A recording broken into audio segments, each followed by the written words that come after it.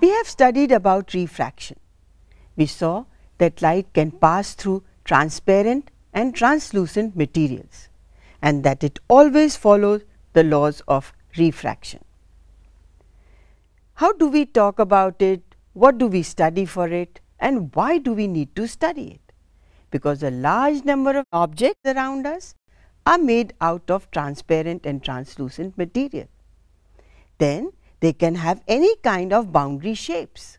For example, I have a ruler here. It is transparent, refraction would take place here. If you imagine a lens that we use in the lab or the lens that we use in our spectacles, it's got a certain curvature. This is special because it's got both sides convex and the radius of curvature for both is the same. So, this is a biconvex lens. Here is another one like that, but the difference is that it is smaller in size, its aperture is smaller.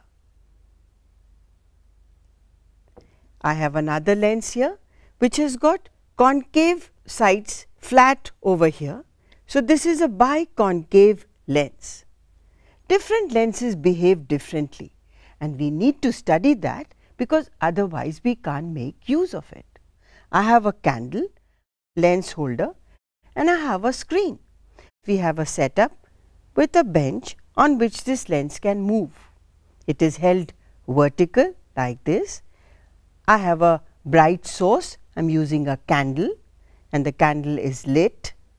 I am going to use a screen and this screen has two sides. On one side there is white paper and on the other side there is these big squares that are marked here the light from here is spreading in all the directions. Some of it would fall on the lens and that is what will refract through it. After refraction and following all the rules, it is going to generate a point where all the refracted rays seem to meet. This particular point which is created in reality after intersection of all the rays that have refracted from this lens is called the image. Can we have a point of situation when we can catch this image? Let us take a look at that.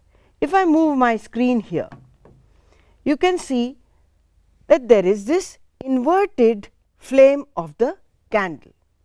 This is called the image.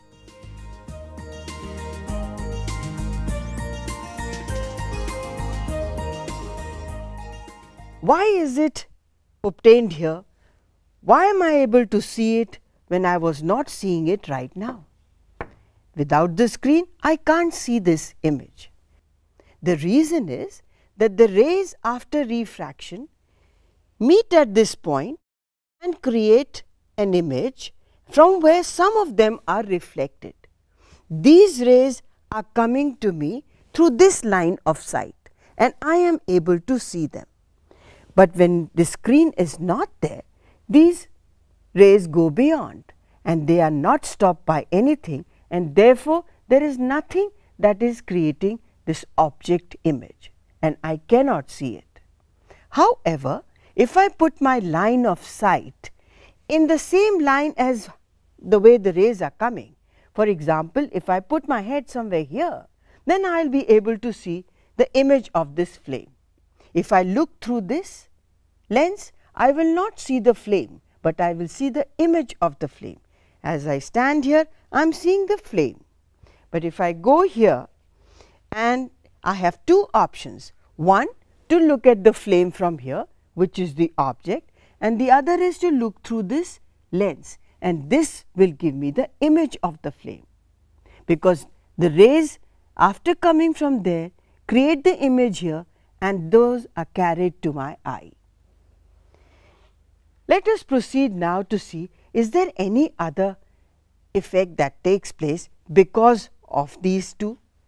That means, what will happen if we change the distance between or the separation between the candle and the convex lens.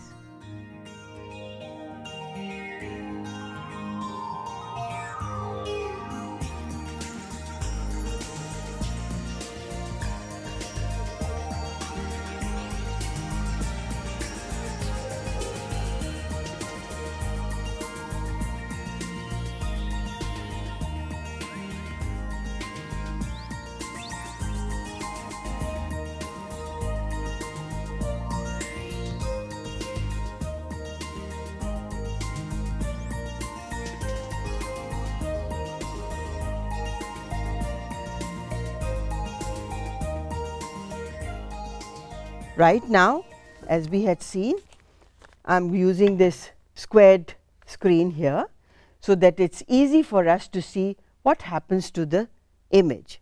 It is inverted, it is very large.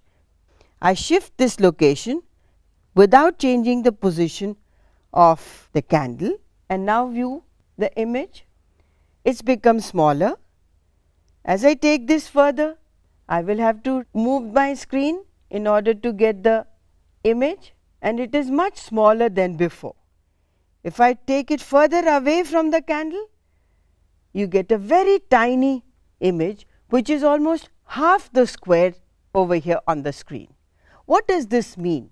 That the distance between the object and the lens is creating different positions where the image is formed and second thing it is changing in its size. The image which was formed earlier when the lens was closer to the object was very large. As we move it away, it changed its size, it became smaller and smaller. All these are real images because you have obtained it on a screen.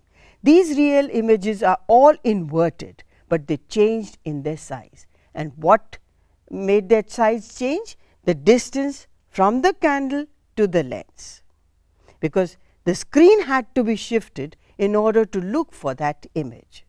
So, object distance, image distance.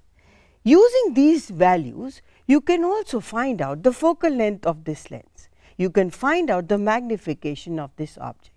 You can do several other experiments with this, but what does the knowledge of focal length give you? It will give you the application of this convex lens for many other different things in life. When you want to enlarge something, when you want to make it smaller, you can use a lens to do that. So, with this experiment, what did you learn? You learned that rays of light travel in a straight line.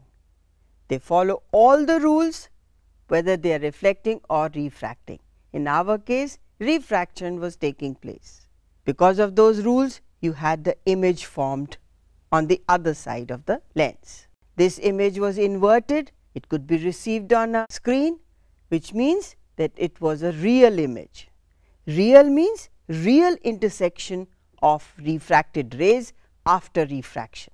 Then you also learned that the size of the image changed and what was responsible for that was for the same lens if you move the object in front of it, the distance of the object from the lens made all the difference to the image.